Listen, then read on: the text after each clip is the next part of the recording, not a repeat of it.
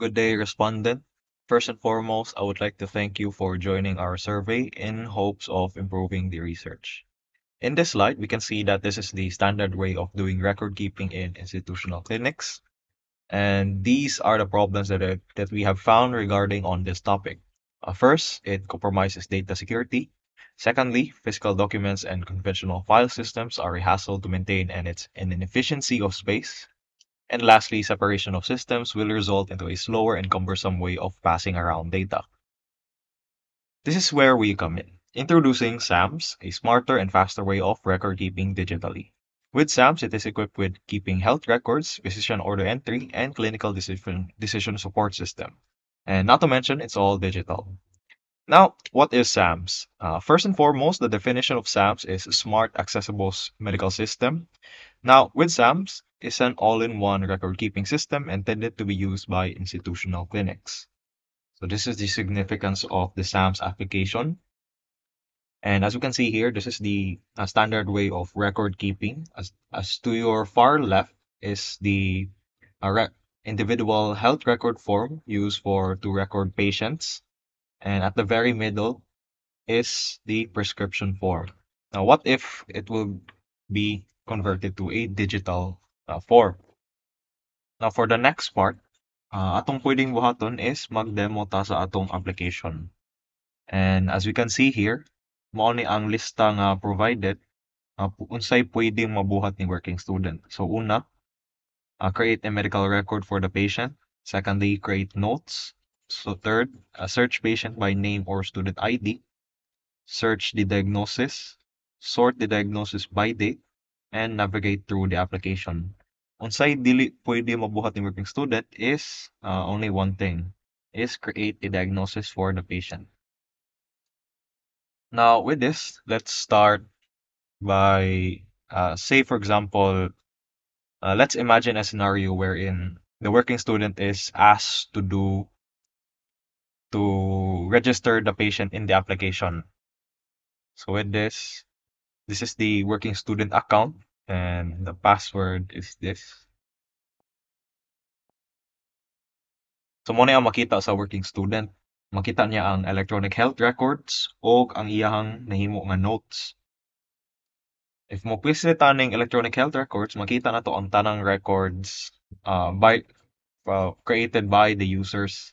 So as you can see here, na ang list of patients. Na si Kyle, si Mark, si Francine.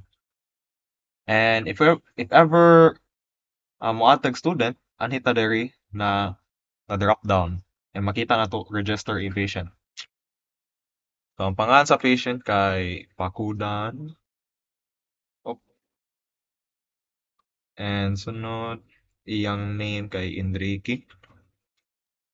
And he's male. And pwede nito maselect ang civil status, either married, divorced, separated, uh, or widowed. But by default, uh, single ang atong ibutang. Yeah, pwede na to mabutang ang birth date. September 21. And pwede na to ask mabutang ang department. Kung asa siya na department na reside and he's a fourth year student and ma-input na to ang student number niya. Pwede sana itong mabuhat is mag-insert sa iyang address and ang height sa student or patient.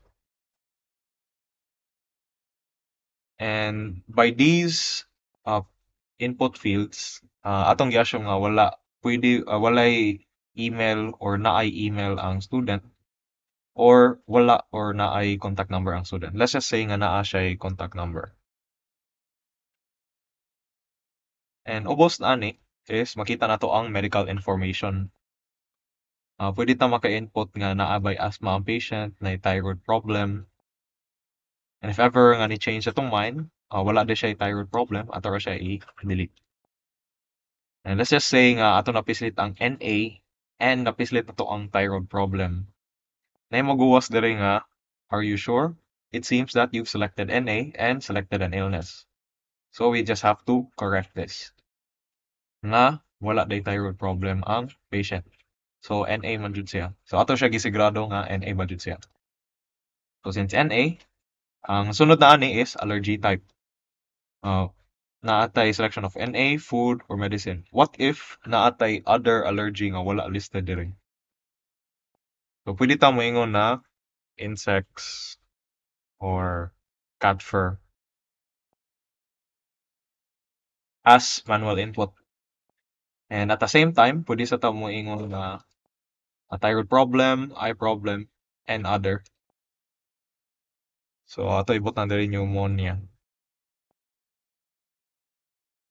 And the last section of registering the patient is a person to be notified.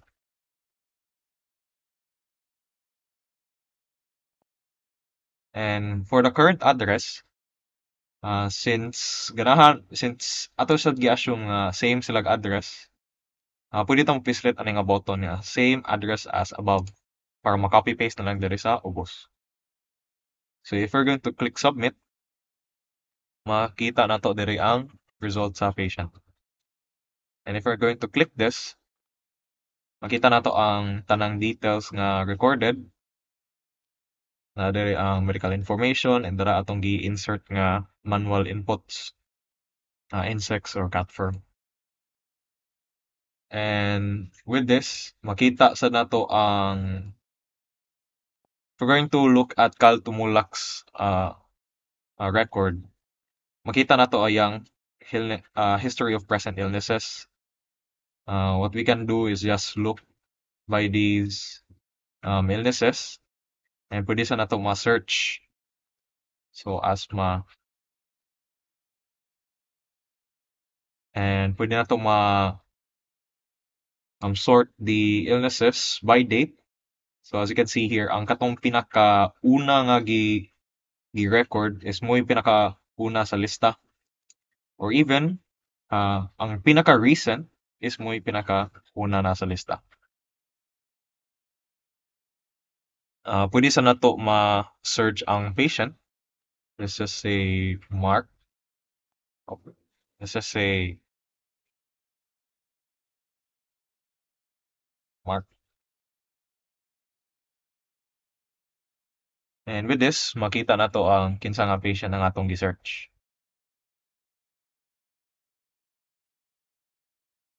Enrique.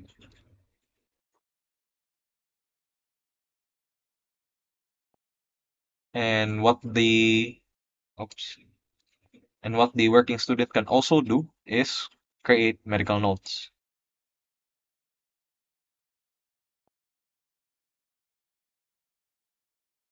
at the lobby. Meet with Nurse Joy. So this is what the nursing nursing student, uh, working student can also do. And let's just say that we want to complete this type of task. You just have to click on this uh, checkbox, and it will be reflected on the complete uh, complete tab. We also have the option to edit and delete So with this, this is the functionalities of the working student.